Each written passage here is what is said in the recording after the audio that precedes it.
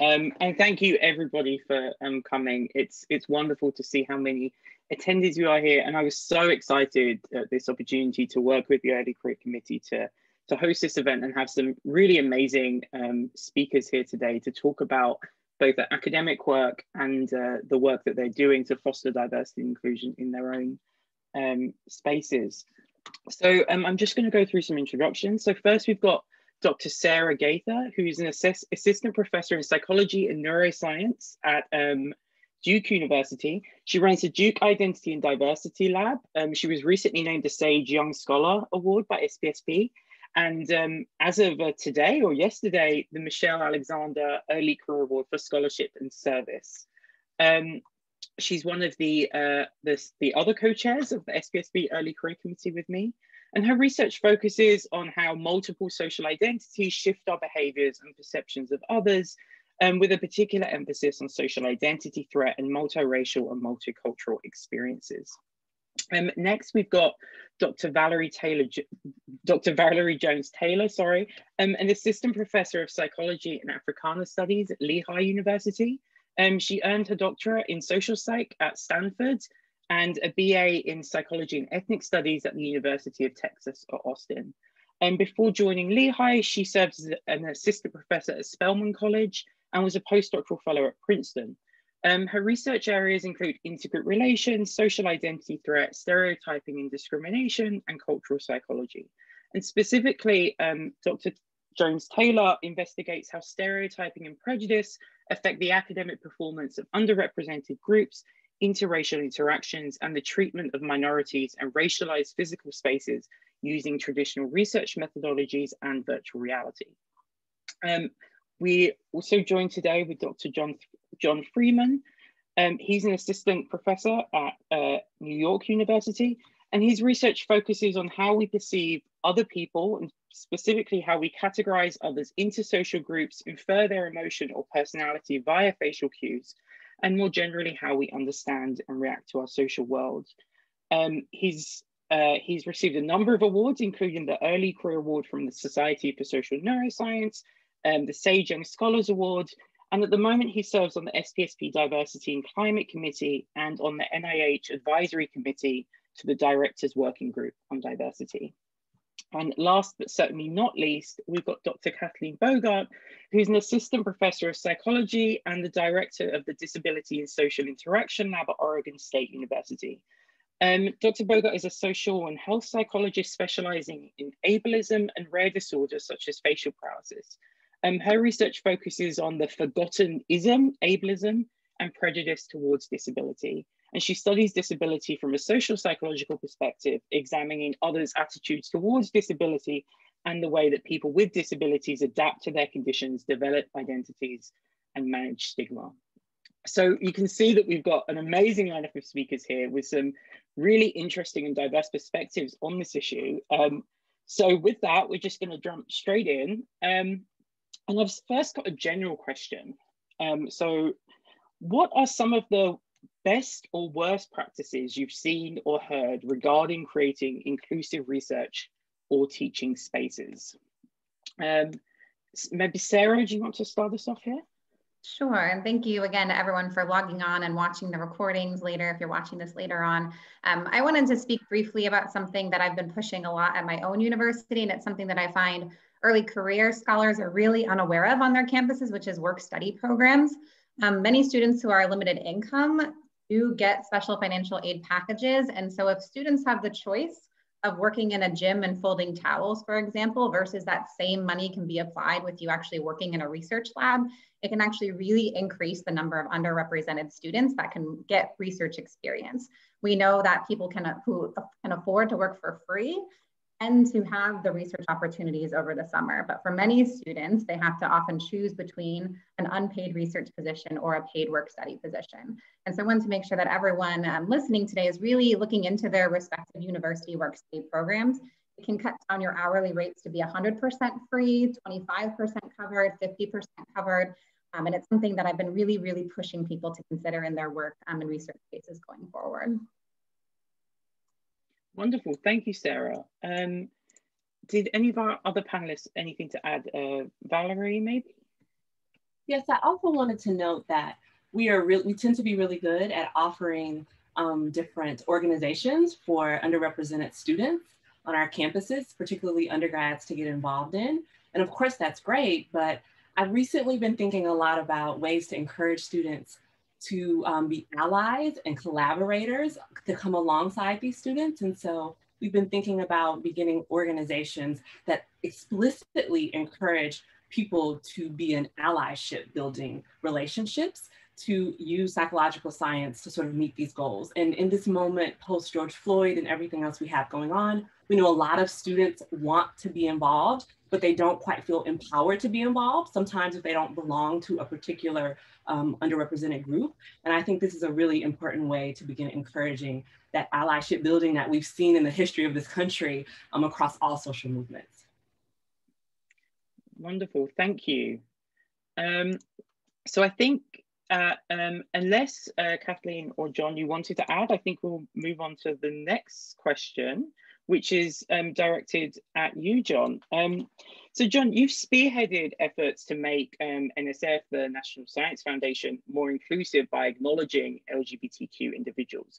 Could you tell us a little bit more about what motivated you to start those petitions and the steps that you've taken um, to, to address this?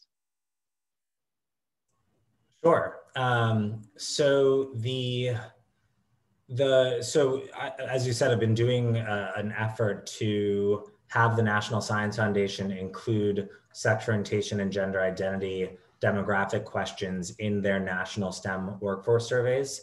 So a, a, lot of you watching are probably PhD students, and when you finish your PhD, you're going to take something called the Survey of Earned Doctorates. It's pretty much required to take to, to dissertate and graduate. And those, right, these are these are surveys of the scientific workforce that feed into congressionally mandated reports that are used by Congress, by policymakers, by researchers in STEM, STEM education researchers. So without the demographic data, you can't officially inform national and university policies or create more inclusive and diverse spaces sort of armed with appropriate data. So while you can do a small, you know, education study looking at sexual and gender minorities, although there's only very few studies, that's not going to actually feed into policy and to changes. So just one immediate thing that might be relevant to you is National Research Service Awards from the NIH or graduate research fellowship programs rely on these exact data sets to know what specifically is underrepresentation in terms of different groups. Um, so what motivated me to do that, I think, was this feeling that sexual and gender minorities or you know uh, biases on the basis of sex orientation and gender identity are not often discussed unfortunately in stem diversity discussions generally speaking. I think in social psychology we do i think fortunately an amazing job with i mean we can always uh, do better but compared to neuroscience right compared to other stem fields physics we're we do quite well, I think, in terms of having a broad look, um, like we're seeing today in this discussion. In most cases, sex orientation and gender identity is seen as almost anth- antithetical to science and engineering, that those are too uh, private and too inappropriate to be discussing in the professional context of, of science and engineering. And that, I think, has the result of kind of erasing these identities and, and stymieing efforts to actually create more inclusive and supportive states uh, and uh, spaces. And the, I'll just briefly say that all the, all the available data on LGBTQ disparities in STEM, it's quite alarming. The, the, you know, the most recent data suggests that the sex orientation gap in terms of earning STEM degrees is larger than the racial gap. It's smaller than the gender gap. So these are, these are quite large gaps and it's important to try to rectify these. And the only way to try to make headway with that, in my view, is getting the National Science Foundation to include these questions. Thank you. Um, yeah, this, this sounds very interesting. I mean, I followed this um, uh, with with great interest over the over the last few years, and it's wonderful to to see that work. And maybe we can bring that over to the UK a little bit more as well um, in future. Um, so my next question is for Valerie. Um, so Valerie, you've recently been um, considering uh, revamping teaching of undergraduate stats to make them more inviting for under for underrepresented students. Could you tell us a little bit more about this? Um, yes, um, so I just want to first note that the goal to do this, in my view, is relatively simple, um, but it just takes, of course, a little bit of effort. Um, and we must first know who our students are. So doing those quick surveys that we often do at the beginning of the course just to ask about people's interests and other sorts of things I think is really important. Um, but really the one of the most important things we can do as um, educators is to incorporate content and articles that simply highlight diverse researchers and the topics that they study. And this is important because um, we know that this will um, normalize the integration, normalizing this will um, make it seem, of course, quite natural to our students um, to know that there are a diverse uh, range of views, topics to be studied. Um, and this is really important um, for uh, marginalized students because it helps, we can often highlight some of the experiences that they've had.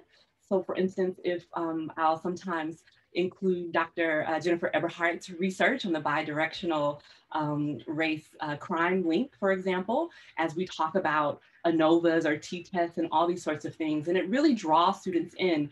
And we know for minority students, they often must see utility value in the work that they do, specifically as it relates to STEM content. Um, and that's, you know, for all students, of course, as well. And so being able to make those connections with the research and people's lived experiences is important. Of course, the whole, um, all the content in these classes doesn't have to be that way, but it is a really good start to do that and to be intentional about um, not focusing on any one particular marginalized group or identity as well and to do that um, by integrating the research that you do in your labs with your undergraduate students there um, would be important as well. And the last thing I wanted to note is to help with this goal, uh, recently on the SPSP listserv, there was um, a Google Doc, editable Google Doc to include researchers, um, BIPOC researchers of different research areas, and you can find their um, articles. And so this is a database that we could search if you need a little help to sort of get us along that goal.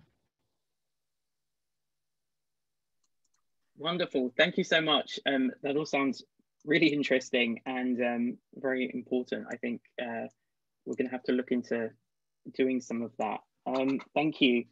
Um, the, the next question we're going to move is to Kathleen. Um, so hi, Kathleen. Um, you've been an advocate both on your campus and elsewhere for disability visibility efforts. Could you give us some specific examples about these efforts and the type of changes that they've led to either on campus or elsewhere? Sure, um, happy to do that. Um, so, you know, first a bit of context about disability in terms of diversity. Um, you know, so so like some of the other identities we're talking about today, um, disability is especially underrepresented in higher education. Um, so we think that about 25% of American adults have a disability, um, yet we know that even in undergrads, only 11% of undergrads have uh, disabilities, and they're 16% less likely to graduate from undergrad, let alone move on. Um, so this is a very large minority group um, that's, that's quite underrepresented. Um, so, you know, I, I've, I've, done a lot of work um, in terms of teaching, research, and service um, around these issues. Um, so I can talk about teaching first. Um, so uh, some early work with colleagues, we actually um, examined the, the content of uh, all the main psychology department offerings um, in the US. We found that fewer than 30% offered one course that significantly focused on disability. Um, and so there actually, as far as we knew, were only a handful of classes that actually uh, specialized in disability. Um, and so after that, I developed one of those. So I'm, you know, one handful plus one. Um, and so what I've done with that class, um, it, you know, we offer it every year. It's been going for I think seven years now. Um, and we do things like really normalize the discussion around disability. Um, so for example, in this class, I, um, I disclose my own uh, disability identity and I find too that uh, students are more likely to um, feel less stigmatized about their own disability, more likely to come out and uh, after almost every class, I have a student contact me and say, you know, I knew I had a disability, I had this diagnosis, but I didn't want OSU to know about it.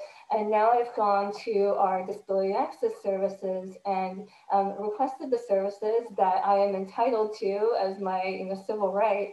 Um, and you know, these students just thrive after that, right? Um, so they get the uh, the accommodations they need, and it, you know, some of that stigma is reduced. So we, you know, my goal is really to see this happen at a much larger level. So with some colleagues, we put together a set of teaching resources um, through Teaching of Psychology. I can send a link later if anyone uh, wants to contact me. Uh, but this is a resource that uh, really covers all of the major topics that you might see in intro to psych class and um, has specific learning modules and videos that can incorporate disability representation into those um, conversations. Um, so, you know, that's that's what I've been doing with teaching. Um, with research, I also think it's really important to um, be sure that disability is represented at the table. Um, so most of my research actually focuses on disabled people as participants, um, but I really try to follow a participatory action research process, which means that um, the, the people who, uh, whose lives we are trying to understand and better um, have a seat at the table as collaborators. So I always include um, disabled collaborators, support groups, um, focus groups, um, incorporate advocacy groups um, in the design and interpretation of my research. And I also am always sure to um, communicate the results back to participants, right? That's something that is so, so often happen to marginalized groups is that um, they are the subjects of research, they're poked and prodded and asked, uh, you know, outrageous questions, and then they never hear about what, what became of that work that they participated in. So, you know, I always give out um, what I hope is an accessible, simple summary. Um, I often give webinars and presentations, panels like this with um, disability advocacy groups, so it gets back to that community.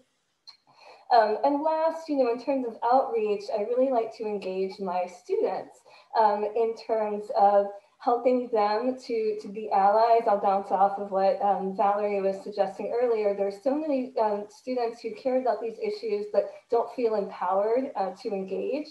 So, you know, we have some sort of awareness or pride event every year around disability or rare disorders, and it really uh, is designed by and for the students, and they play a major role in it. Um, and I think it's uh, really a, good opportunity for them to communicate about you know work they're doing in the lab. We often get Psi Chi or Psychology Club involved as well, so it kind of goes beyond our just our lab.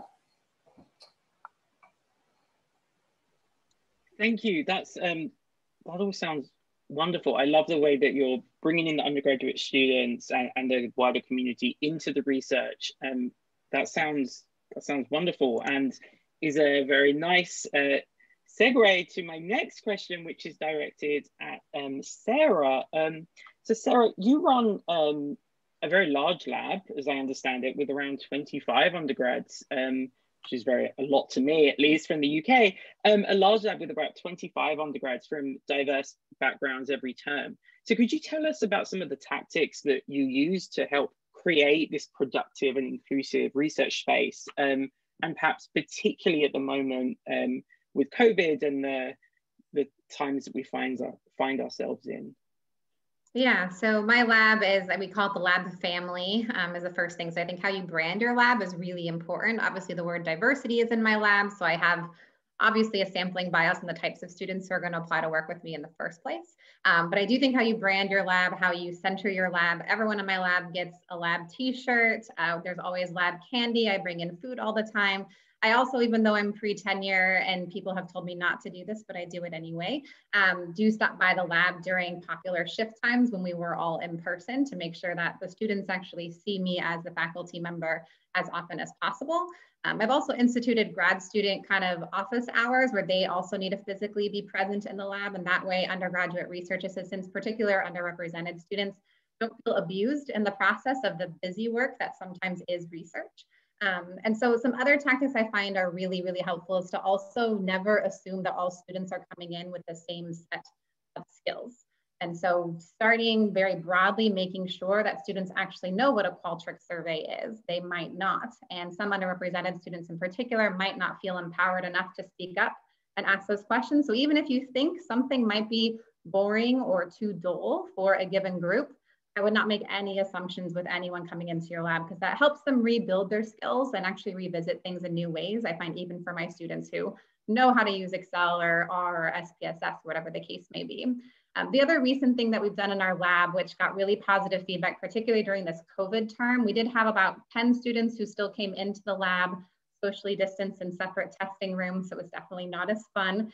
Um, we had about 15 who were all virtual across the country. Um, we actually did a joint value statement writing task where all the undergraduates, graduate students, and postdocs worked together to write a value statement that's now publicly available on our website. Um, this was a really inclusive process, so then all the students could make sure their voices were heard. They could communicate their own words anonymously through this process, and it was a really nice lab building experience for us, particularly during COVID. We also started using Slack a lot more during COVID, which made it much easier for the numbers of emails, and students are getting so many from the university with COVID protocols. So being creative on what forms of communication work best for your students is another way to make sure no students sort of get left behind um, during these COVID terms as well. So those are just some best practices.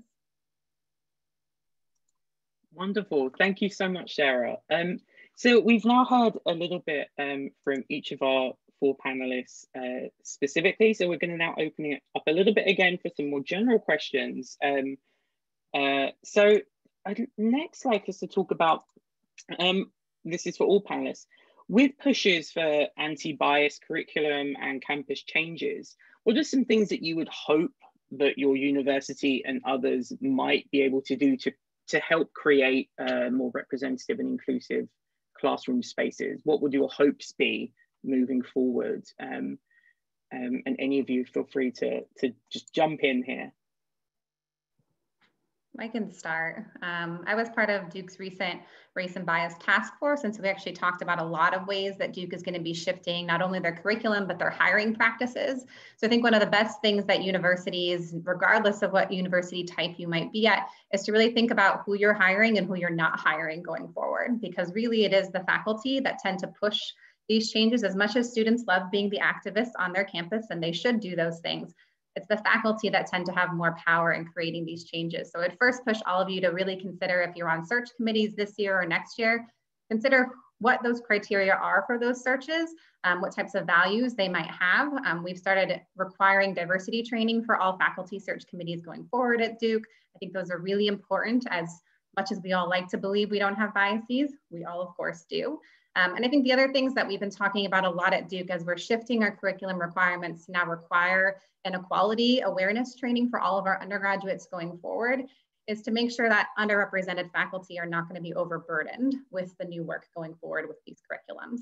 Um, so it's really important for all faculty, regardless of their identities or backgrounds, to make sure that they are signing up for these anti-bias training sessions, these curriculum training sessions, so that this extra labor isn't going to fall on our underrepresented scholars more than it already has in the past.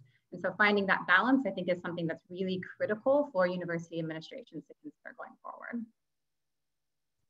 I want to jump in there and quickly also say we've been talking about our graduate admission process as well, and COVID has made um, the issue of the GREs really salient. You know, some students couldn't take, um, excuse me, couldn't take the GREs, et cetera and many um, universities and programs have um, let that go for this year. And we've been talking about what it would look like to let that go indefinitely, um, given the work that we know around testing. So I think it's important for departments to have really um, good conversations about what an admission process would look like for graduate students if you remove the requirement of the GREs and how to best evaluate students across difference in that context. Yeah, I think another uh, element too um, is to do analyses on, in terms of the department, pipeline analyses in particular, right? So not all departments uh, or institutions suffer from the same issues as one clear example. Is there, if you look at the pipeline and the applicant pool, what in terms of diversity or uh, you know people from underrepresented or disadvantaged backgrounds, is there an issue in terms of attracting people and the entry into the applicant pool, or is there an issue from the you know they're applying they're just not getting in which is sort of where a, a, lot of diversity training comes in. But unfortunately we've seen this with this year in terms of a lot of pe- a lot of departments putting um, webinars about their program online to attract more students especially from underrepresented backgrounds to apply. But i think it's really important in terms of uh, racial or ethnic minorities in terms of sexual and gender minorities in terms of disability having the data on the department, whether it's you know climate surveys done in a you know private, confidential way, of course, but what's going on in the department in terms of experiences, and then also pipeline analyses to make sure that the solutions are actually targeting the real issue in the department and not just kind of a little bit vague, you know, or sort of really focusing on where are the issues. Wonderful. Thank you, everyone. Um, so we've got um, a second uh, general question next. Um, so, sorry. So some viewers might be wondering about how to, to start this process of asking or helping with changes on their campus or in the departments. Um, do any of you have any tips for for those people to uh, come to the best pathways to change uh, teaching or research spaces, working with the, the people who have potentially more power, um, the, the higher ups, as it were? Um, I can start. Um, so I have, um, so in my experience at um, my university, I happened to join with a cohort of other people who were interested in diversity. And so, you know, we all started as assistant professors with a lot of power and, and not a lot of bandwidth, right? Um, but it was really helpful for us to um, kind of form what was initially an informal group and then more of a formal network. Um, and we attracted other people um, who had been at the university longer. And so kind of with that strength in numbers and solidarity, we were eventually able to attract um, people with the bandwidth and, you know, connections to uh, be able to have these conversations with people higher up and also people who were more aware of the kind of existing politics and how to navigate them. Um, so yeah, I would really encourage informal kind of um, identity or diversity based networking at first. Thank you. Um, did any of our other panelists want to jump in on this question? Um, I think I would I would co-sign on things Jon was saying earlier, and that one good way of sort of figuring out where to help and how to help to start these efforts is by using data. I find particularly when you're discussing issues related to diversity, not all ears are as open as others, but data is data and you can't really argue with it. So I would strongly encourage if you are starting these efforts in a given department or university to get as much data as possible because then there's nothing that anyone can argue with.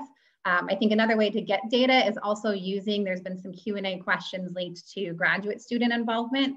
Oftentimes graduate students are a little more in tune with undergraduate kind of environment con contextual issues. Um, so talking with your students and really getting to know them, which I know sounds like something we should all be doing normally, um, is really, really critical in making sure that all voices are heard. So if you are gonna start surveying, don't forget about the staff in your department as well. They're another group that often gets overlooked in trying to build inclusive spaces. Um, so from undergrad staff, grad students, postdocs are another forgotten bunch of people as well. Um, so really collect that data and then present it to the key party members. If you're an early career scholar, I have found in my short career at Duke that finding friends in high up places can really, really help you, but you need to find the right friends. So talk to um, you know, secret friends on campus, you can figure out which administrators may be more or less um, prone or open to discussions of changing curriculums or hiring practices or whatever the case may be, and go through those avenues first rather than jumping all the way up to the top of an administrative system. So those are just some other pieces of advice. As superintendent, oh no, go ahead, go ahead. Um, I agree with everyone else, and I also wanted to answer this question in a in, um, as it relates to a question also put in the chat, I believe, about decolonizing the curriculum and how to go about that. I think this is a big part of it as well. And so when we talk about decolonizing the curriculum, it uh, relates to some of the things I noted about trying to integrate more diverse voices and ideas in the stats course, for example.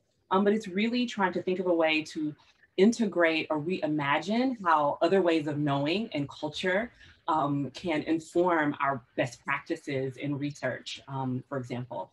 And so a good place to start there are our really close cousins in social psychology of um, cultural psychology.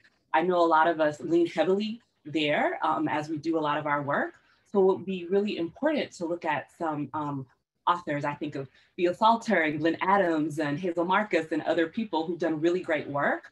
Um, Sarah Townsend, Stephanie Fryberg, just to give a few shout outs, you know, to people who do great work in this area and think of other ways and methods of interrogating these questions um, in our work. And so associated with looking at some of the lists um, that we've provided, the BIPOC list, for example, looking at other closely aligned fields um, to social psychology or integrated fields can help us do that as well.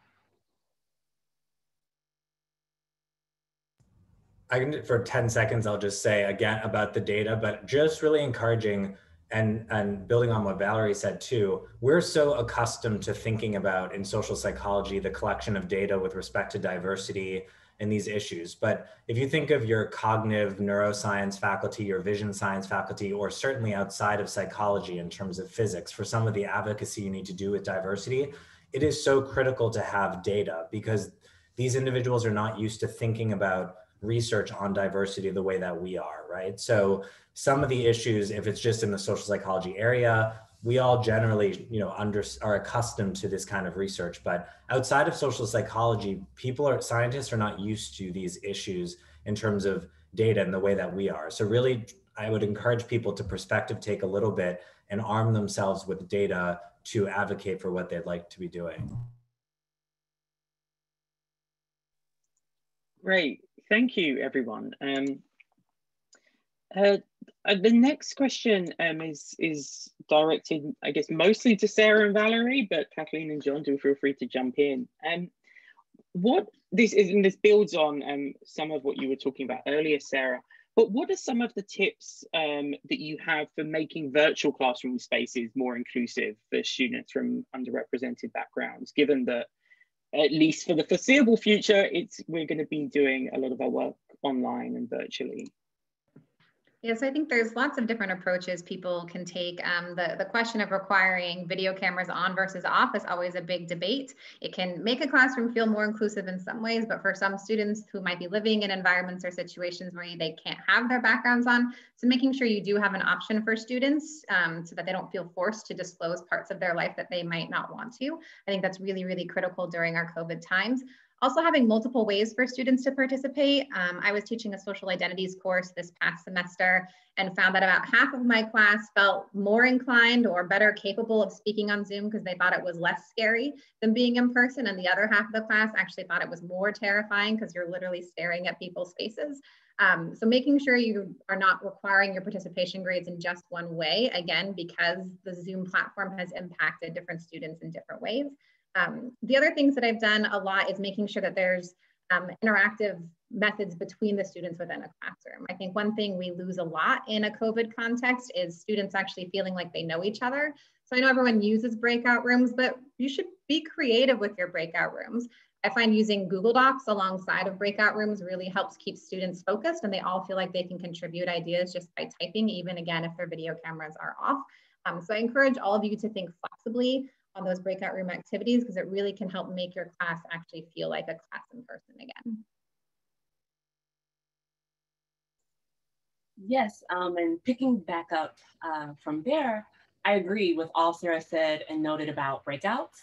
And I, I strongly encourage them as well because students just can talk more when we do the think, pair, share in person, for example.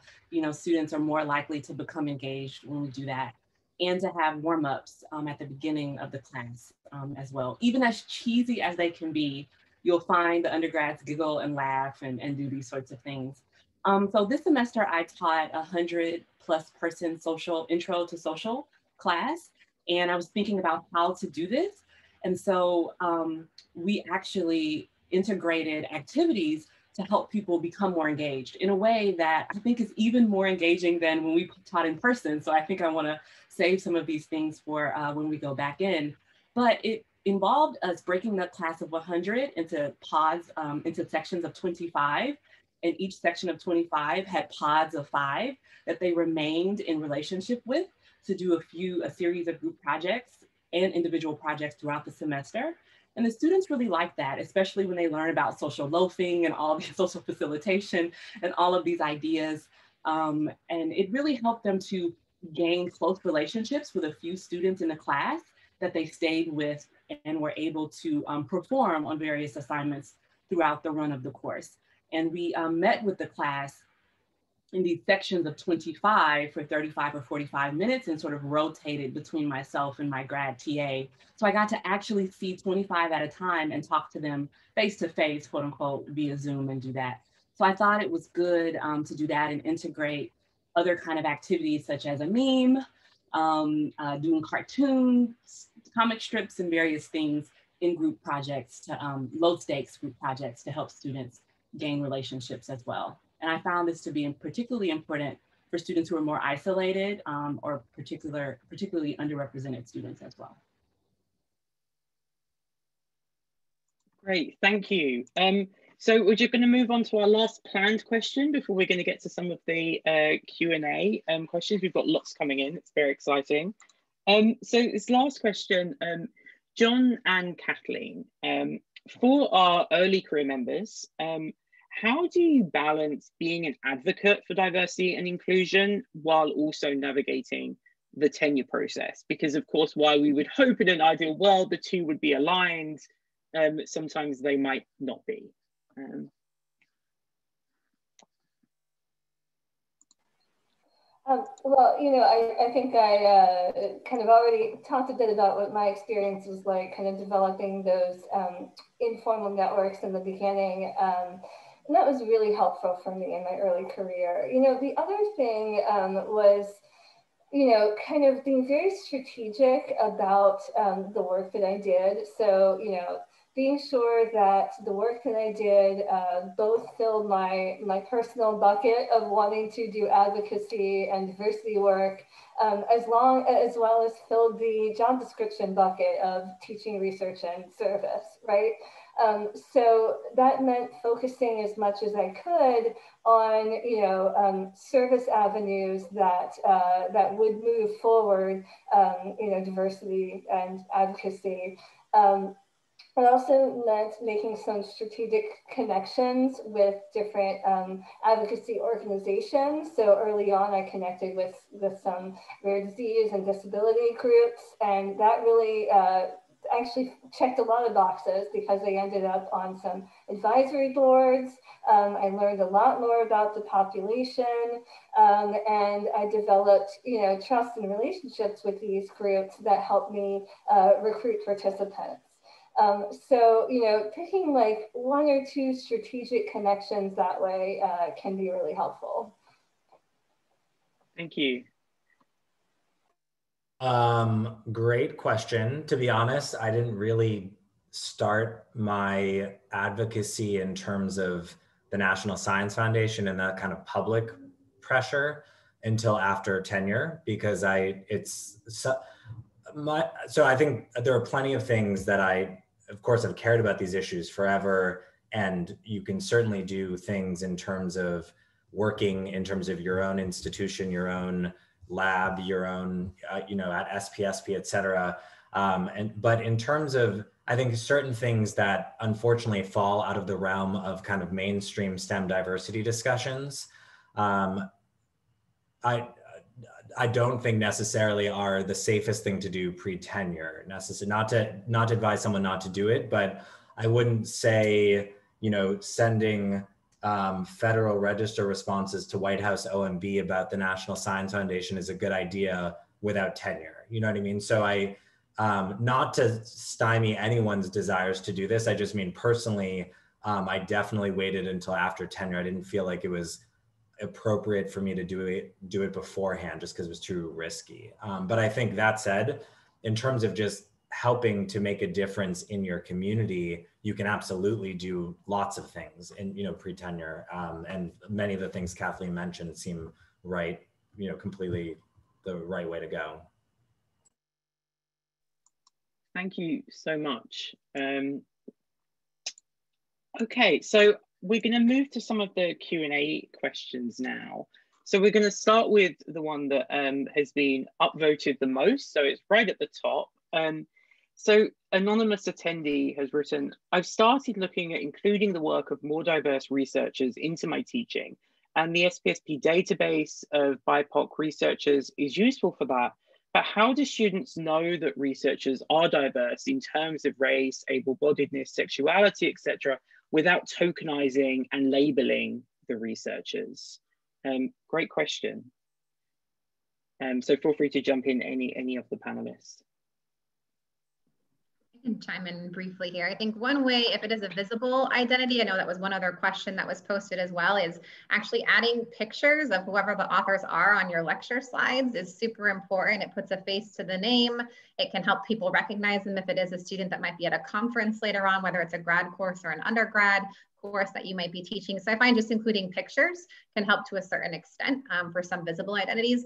For invisible identities, one benefit I think of this COVID world that we're all in is by having guest speakers come to your class or to have guest speakers pre-record a lecture and you can ask that individual if they happen to belong to a certain underrepresented group to disclose it themselves, right? That way you're not necessarily disclosing someone's identity for them if it's not an identity that they're comfortable with. But I find these pre-recorded short guest lectures, A, students love them, and B, it can help, you know, decolonize your curriculum as some of these questions have been coming in as well. And giving the voice to that individual from that particular underrepresented group, giving them the platform, I think is really important as we're starting to shift in the direction of um, fostering more anti-bias curriculum efforts.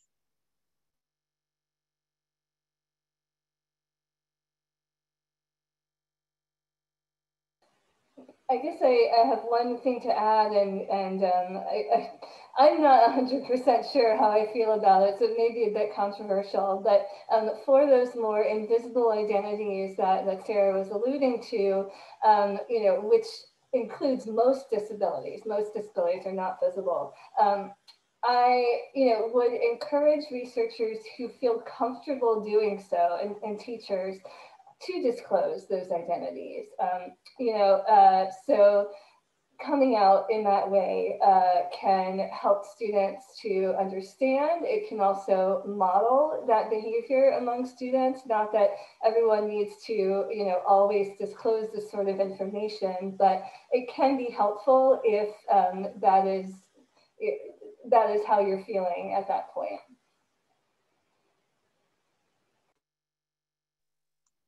Yes, I, I, think that's a really important point um, for researchers where they can and they do feel comfortable to disclose that. Um, you know, have, for example, the rainbow flags on Twitter, um, like on their names, and also something I do in class. You know, be open about difficulties with depression or anxiety or mental health to make them know that um, the faculty also experience this, and so that's something that I've personally found very useful. Although we're not here for me, so that's the only thing I'm going to say in this whole webinar.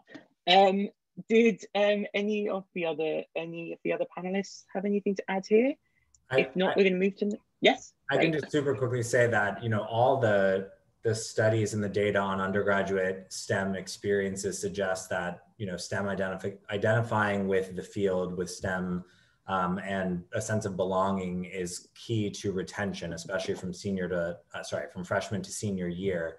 And if we want to keep people, as everyone's saying, right, bring them into our field, keep them in our field, I think these issues are so critical, right? In term, and one of the ways you can do that is obviously from having clear role models or clear, you know, sites of researchers doing that. So I think in some ways it's it's a responsibility of us to make sure that we keep people in our field and don't have people feel like they're not belonging. But I do think that especially with you know invisible or stigmatized invisible identities that it is challenging and i think kind of differs for each individual researcher about the degree to which they want to be kind of out invisible or not. And it, it does have to be a bit of a kind of personal choice about how they feel at that moment, you know? Great, thank you. Um, so um, we've talked already um, a bit, um, a, a, few of the panelists have talked about decolonizing the curriculum. So I think we'll move to this next question, um, which is about hiring. So um, another auton autonomous, anonymous attendee has said, I'm in a small liberal arts college and we've been doing most of the best practices in encouraging diversity hiring However, our department and to a large degree, the college is not diverse. So we've made offers to diverse applicants, but we worry that they don't feel that they'll fit in. Um, and so this person is asking what else can they do? Um, feel free, anyone to, to jump in again. I can start. I'm not at a small liberal arts college, so this might not be as applicable in that context. But I know one popular thing we're seeing right now in the job market across um, across the U.S. in particular are cluster hires. And so one way you can help reduce the tokenizing that a new person may be feeling on a given campus is to make sure that they're not the only one, right? We realize many people have to be the first one from an underrepresented background before there can be a second or a third, but it can be very daunting to be that first one in that space. And so cluster hires, it doesn't have to all be within the same department, but maybe there's a theme on focusing on inequality or focusing on um, you know, family family struggles, right? There's some sort of theme across a campus. And so getting a university to sponsor multiple hires in multiple departments, if one department can't afford more than one hire in a given year, um, has been shown to help recruit people successfully and also to retain them longer because then you come in with a cohort. Um, I know when I was hired at Duke, um, I am a biracial Black, white identified individual, and there were two other Black faculty hired the same year I was totally different departments, but we are now best friends because we were all hired together. Um, and that really made a big difference in us um, making Duke feel more like ho a home for us as well. So that would be one suggestion to pitch to your university. Another thing I would note is to, to the extent that faculty feel comfortable um, speaking, faculty from different departments feel comfortable speaking to um, potential hires, um, that they that departments ask if they are willing to talk to them or reach out to them to talk to them about the area. One thing is like where to live, for example. Where is a safe space to be? Where do you get certain types of food? And sometimes you you know you have to speak to particular people in the university or colleges or just the area that are more familiar with these spaces. And so these very low stakes phone conversations or Zoom calls with potential hires I find have been really important across all sorts of um, identities to help people really make a, a more informed decision whether they're willing to step out and go into a place um, where they may be um, um, few of uh, their group on a particular campus. And then it helps them to build a cohort if there are no cluster hires available at the time, for example, which I think are absolutely great. Um, it can help build a, a cohort prior to them arriving.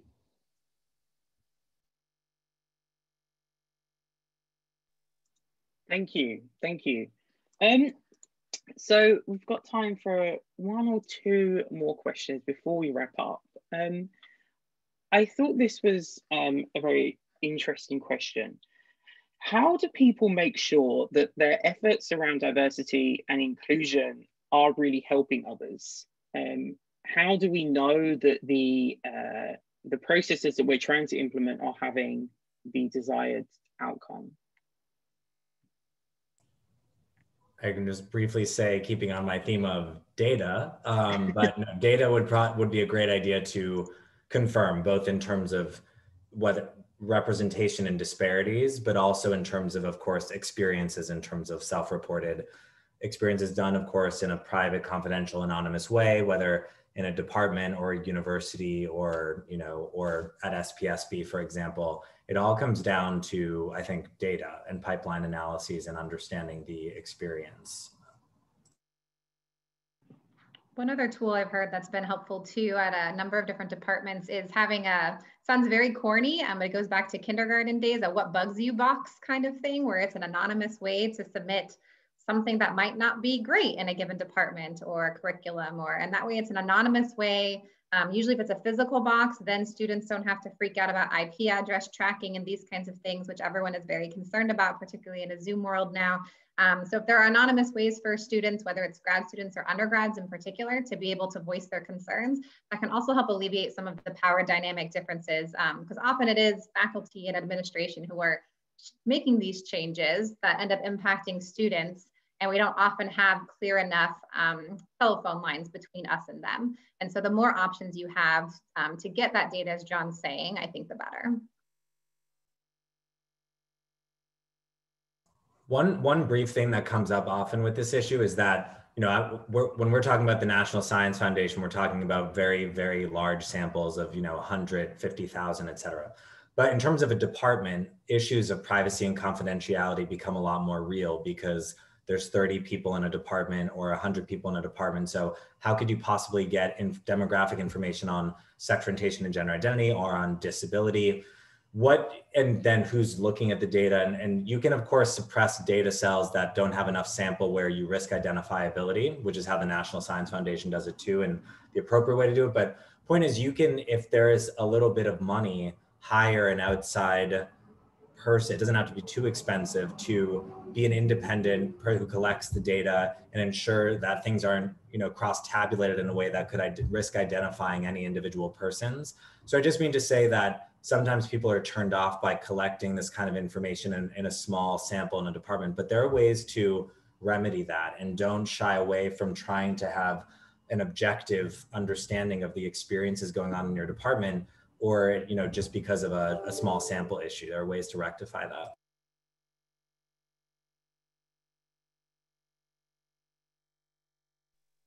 wonderful thank you um, and so i think this will be our last question um, the attendee had directed this um, more towards kathleen but i think this is something where each of our panelists will be able to, to give some guidance um, so this person has written that the informal networking idea is excellent, which very much agree with. Um, do you have any ideas or suggestions of, about how you might start that process? Like, how did you determine who to reach out to? I think this relates to your um, your answers earlier as well, Sarah.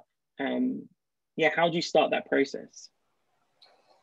Right. Um, so, you know, I took advantage of all the kind of um, socializing and networking opportunities when I first started my job. So we had an extensive, probably too extensive, you know, four day orientation when we started and a lot of new faculty mixers and stuff.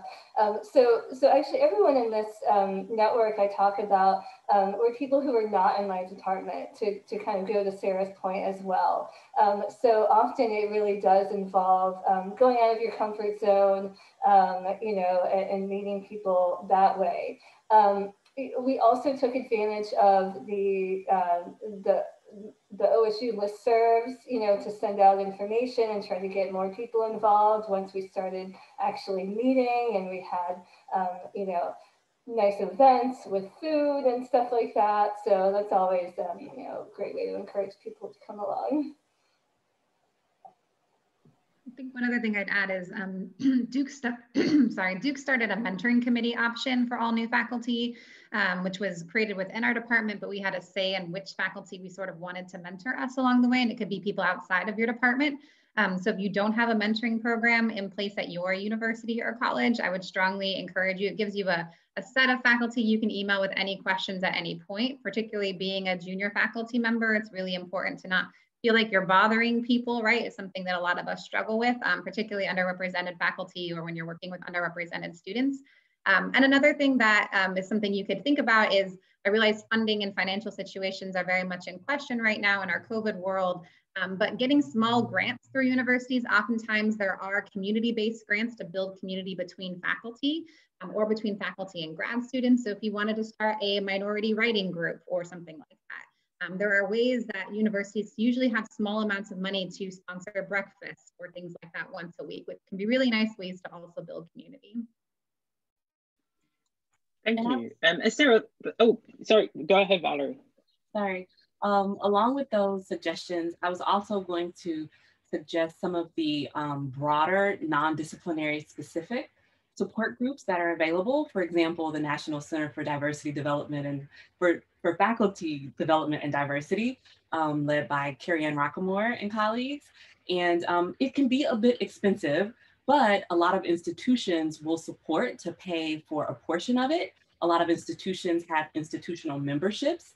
So you can watch a lot of the webinars um, and you can take these 14 day writing challenges where you meet online with other people. Um, it's not for a particular group at all. You can join from a graduate student to an administrator and sort of be in um, groups of people across disciplines who are at the same stage. And so that helps to form these networks. And I've met quite a few friends from different areas that I stay in contact with from being involved in these sorts of programs over the years as well.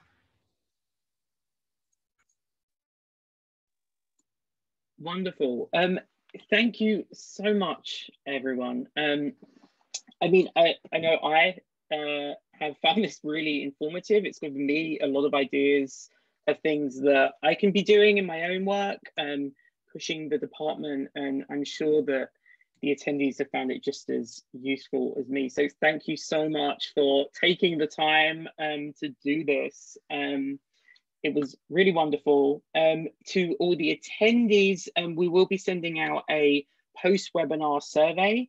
Um, just ask you what you thought went well, what could be improved, and this will just help SPSP plan these events in future. And in that email, we're also going to be sending some of the links of the uh, resources and lists and things that we've uh, talked about in this session so that you can have those there.